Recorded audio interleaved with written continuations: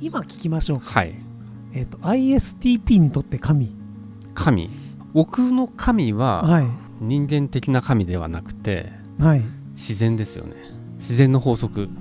いるいるいるいないとかじゃなくて。いるいないとかじゃなくているとすればそれかなって感じですよ。物を落としたら下に落ちるじゃないですか。万物の法則。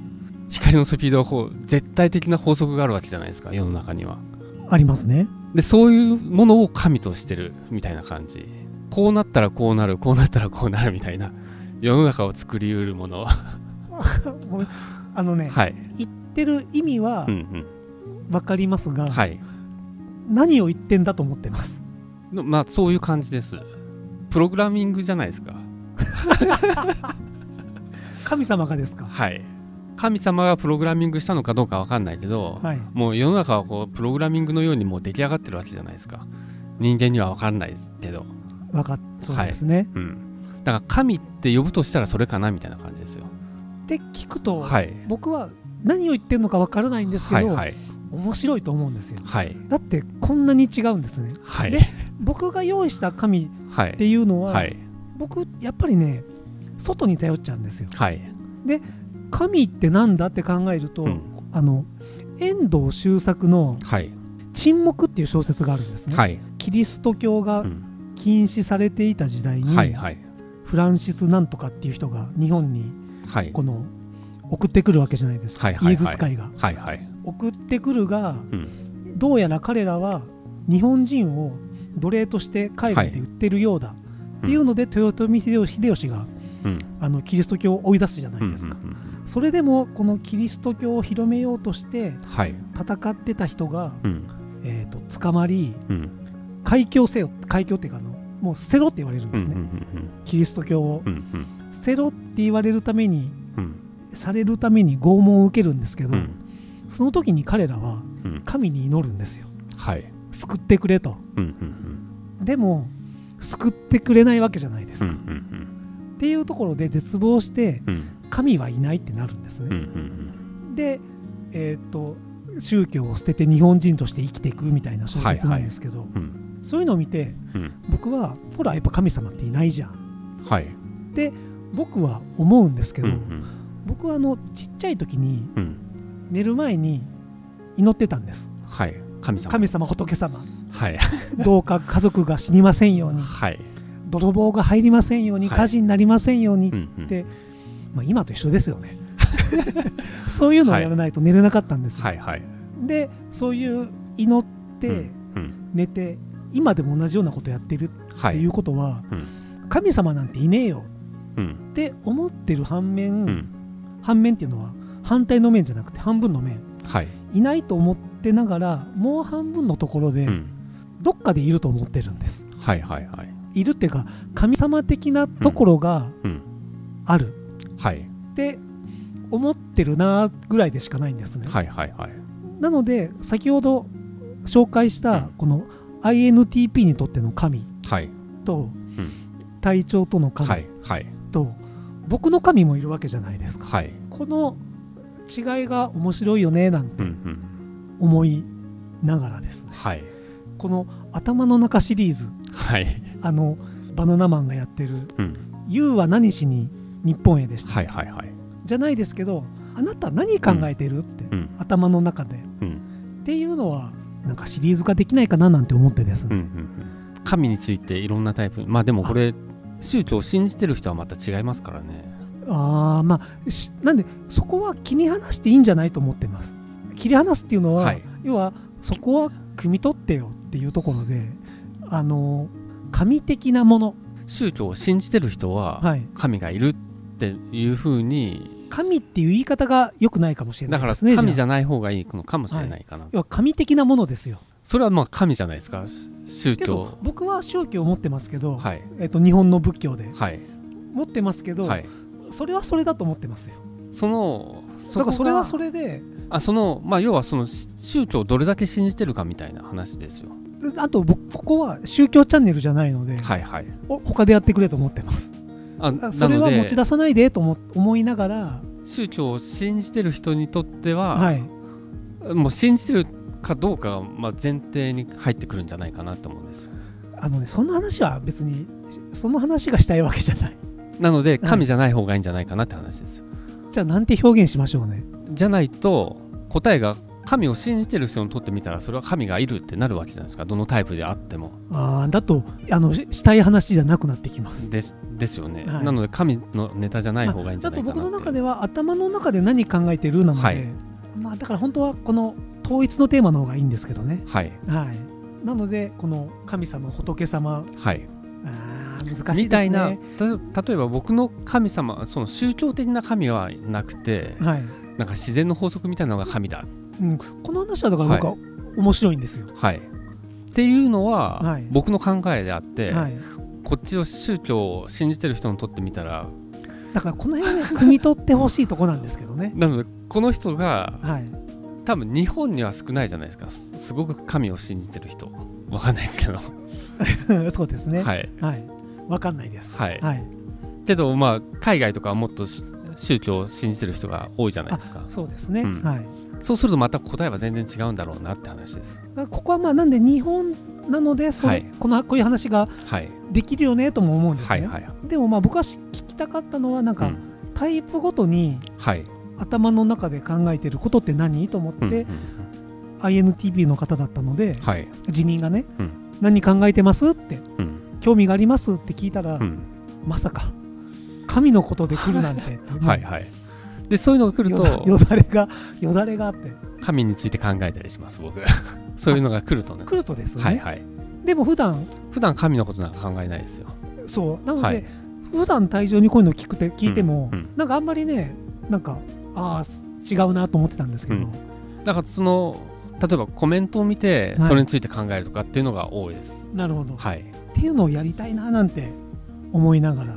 で古藤さんこと。私は結構宇宙のことを考えている。有利タイプ459と,、えーとかトライタイプトライタイプなんでしょうね、はい。エニアグラムの、うん。実際的なことを掘るより宇宙の心理的なことブッダ的哲学というか我々の生命の究極はそこじゃなかろうか。生きづらいとは感じない、感じない。はい、世間と考えが多少ずれてると思いますが生きづらいのとタイプは関係ないような気がしますと。僕もそう思うんですよね。それを生きづらいって言ってるだけみたいな感覚です。今の意味がわからない。ごめあんなさい。と最近 INTJ の動画が多いじゃないですか。でコメントが多いじゃないですか、はいはい。でそうするとなんか INTJ さんは自分の中の理想みたいなのがあってこれはこうすべきだみたいなのがあって、はい。それをこう人にこうした方がいいみたいなそこはそうじゃなくてこうだみたいなことを言う。あのそうですね。はい。主機能じゃなくはい補助機能が外交のそっちが出るっていうところですね、で NI なので多分理想が強いみたはいいはいな感じです、はいはい。で内向内向内向直直感。感はい。はい。でまあ理想とかなんか真理みたいな。自分の中のものですね、はい。でこれが絶対すごいんだみたいな。これが正解なんだみたいなのを TE で周りの人に T 外交思考。思考。外交思考で。周りの人にそれは間違っててこうだよって言うわけじゃないですか、はい。でそれをしてることによってあそのそれが通らない時が多いと思うんですよ。はい。それが生きづらいなんじゃないかなっていう。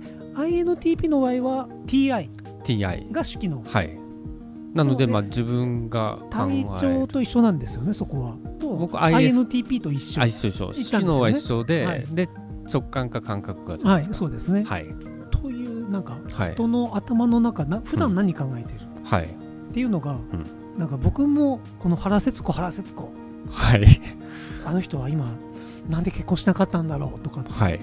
ずっとやってるのも、うん。なんか若干なんか変なんだろうなとは思ってたんですはいけど、はいはい多分僕そういうこと全く思わないですもんね。神かと思って。この原節子がなんで結婚しなかったんだろうって絶対考えても分かんないじゃないですか。わかんないですなんか愛人に養われてたからとかあるかもしれないじゃないですか。ちょっと汚さないで。違う例えばですよ。あごめんなさいちょっともう今。っていうはいなんかこう辛かったんだろうなって一生懸命考えたとしても実はこうだったみたいなあのもうって全然わかるわけない絶対わからないじゃないですか、はい。なのでそういうことはもうほぼ考えないです。っていうなんはい。かこの人の頭の中シリーズなんか人のっていうかこはい。れがタイプだとうん。なんか動画になっていくのかなはっていうのを感じながらね。で古藤さんがまあなんか16タイプとかのタイプを考えてもらえっと書いてもらえるととてもありがたいです。で古藤さんが考える神とは我々の中にある何て読むんでしょうね神が生まれると書いて神聖と読めばいいんでしょうかね。の話で何か他のものを崇めるのではなく我々生命がどこからなるといえばこの神性神性からなっていると思う。プログラミングっていうのはその通りだとも思います。うん。完全なプログラミングだと。もう法則がもう決まってるわけじゃないですか世の中って。全てのことが。でもなんか国ごとで違うじゃないですか。違わない自然の法則ってあるじゃないですか。あ、まあ、アメリカそに行ったらボールは下に落ちないとかってないじゃないですか。うないです。はい。はい。あー、はい。うんああとはそれの解釈の違いってこと？解釈の違い？それってもう絶対的なものがあるじゃないですか。どこに行ってもありますねそれは、でもそれってもう神って言ってもいいんじゃないかって話ですよ。世界中どころか宇宙のなんかこの仕組みみたいな物理の法則でも何でもそうですけど。僕はこういうのを見ると、うん。なんかあ変な人だなって思うんですよ。はい。だからもうそれこそ神じゃないかって思うんですよ。なんかもう狂人 狂人がいるぐらいなんですね。はい。で多分はい、このまあ何回も言いますがうん、動画を始めたきっかけは、多分こういうやり取りがもうはい。ずっとあって、はい。あこの人変な人だなと思って。はい。で僕も思って。動画を始めたわけなんですけども、あ青葉月さんが考える神はキリスト教圏の方が考えるのとイスラム教圏日本人とか、でなんか僕が話したいのはこういう宗教の話ではなく、はいはい。なんかこのなんかの真理みたいなことですよね。あーそうなんて言うんでしょそれについてどう思うかみたいうな。そうなんか知知識知恵の話じゃなくてなんかどんどう思うって。うん。あなたどう思うって。正解が知りたいんじゃないんだと。うん。あなたの解釈が知りたいんだと思ってるんです。だから僕の解釈の神はそういう感じあですよね。そうそので解釈が知りたい、はい。宗教的な神ではなくて、はい。そういう自然現象的な。あってもいいんですよ。僕も持って持っててあのこっちで正しいと思ってるのはこうやって言ってるよねっていうのははい、あるんですけど、うん。まあそれは置いといてうん、でもやっぱ僕が僕の解釈があるんですよやっぱり。はい、ダメなんですけどね。僕のこはい。こっち的にはダメなんですけどでもやっぱ僕じゃないですか、僕。はいはい、あこれは受け受け止めてください。うん、だからまあ僕がこの宗教的な神を、はい。ではなくそういう自然的なものが神だって思うのは、はい。こっちが納得いかないからっていうのはあるんですよね。これも結局人が作ったものでしょっていう。まあそこなんですよね、うん。結局。そうこれは多分世の中を良くするために、まあ、秩序を守るために、文化ですよね。はい、生まれたものっていう、で要はあの聖徳太子とかがうん、仏教を入れといた方がはいはい、収まるからと。っうんうん、ていうみんないい方向に進むから。道徳心道徳心を植え付けたりするのも。っていうか逆らわないようにと思ってるんですけどね逆らわないようにっていうか、まあ、秩序、俺たちがうん。治めたいんだとこの国を。うん要はなんかちっちゃい時に子供うん、にはいはい、お化けの話をするのは、うん。あっちに行かせたくないからじゃないですか、はい。あっちに行くと怪我するよとかはいはいはい。のためにお化けを言うんですよね、はい。